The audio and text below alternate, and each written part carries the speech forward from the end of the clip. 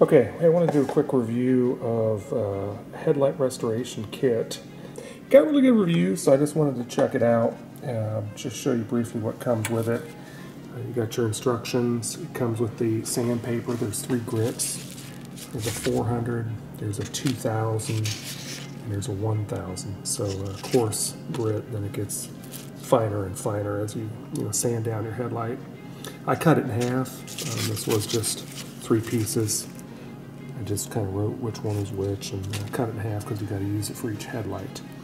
Comes with a uh, real flimsy um, glove there you can wear.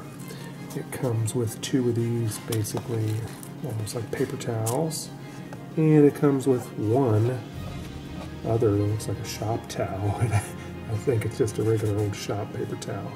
And then it's got the compound, so uh, step one's the activator, which basically kind of supposed to clear some of the muck off of it. Step two, clarifying compound, and then the final step is a UV block.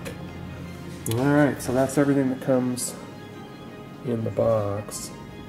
I'll, uh, I'll give it a try, see how it works out. Okay, so this is the car. It's a 2009 Toyota Highlander. It's got over 200,000 miles on it.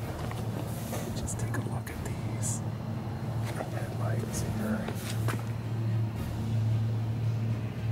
Okay, this is the passenger side, and I've done some cleaning on this one, so. A, it's actually a little bit better.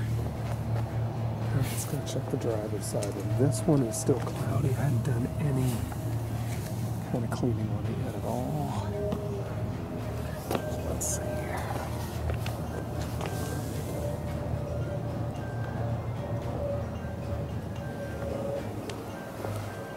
So we'll try it out. Let's see if we can get it a little bit better.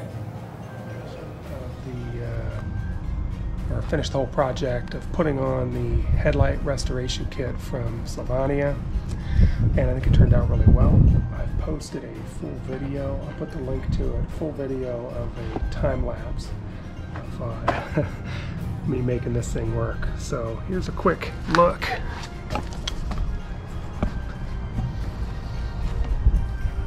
yeah, it's a lot better, man. Yeah, there's the driver, there's the passenger side.